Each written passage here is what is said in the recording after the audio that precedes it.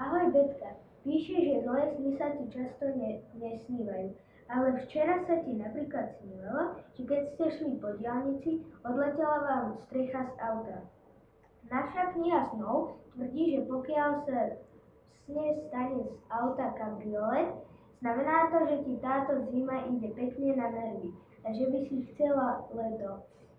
Na to si síce ešte trošku počkáš, ale mohla by si dovtedy skúsiť saunu, tam je tepla až až.